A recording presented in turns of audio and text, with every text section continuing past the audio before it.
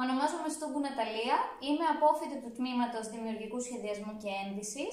Πήρα μέρος στον πρώτο διαγωνισμό Digital Fashion που διοργάνωσε το Πανεπιστήμιο της Ουκρανίας και κατέλαβα την τρίτη θέση. Η συλλογή μου ήταν γύρω από το κομμάτι της βιωσιμότητας. Τα ρούχα μου ήταν πολυχρηστικά, μπορούσαν να αποσπαστούν κάποια κομμάτια ε, και να αντικαταστήσουν δύο ή τρία διαφορετικά ενδύματα. Χρησιμοποίησα την τεχνική του patchwork με σκοπό οι φύρε να χρησιμοποιηθούν ώστε να δημιουργηθεί ένα στιλάτο και μοντέρνο ένδυμα.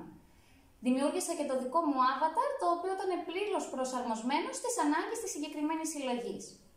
Θα ήθελα να ευχαριστήσω θερμά το Τμήμα Δημιουργικού Σχεδιασμού και Ένδυσης που μου έδωσε την ευκαιρία να το εκπροσωπήσω σε έναν τέτοιο μεγάλο διαγωνισμό.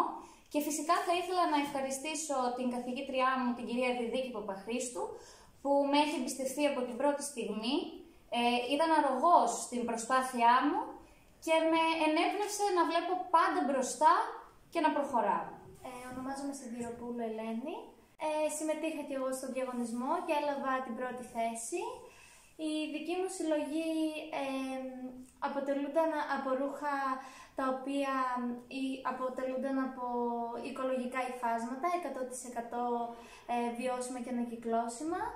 Ε, τα print έχουν γίνει με βαφές οι οποίες ε, είναι οικολογικές, ε, από φυτά και λαχανικά.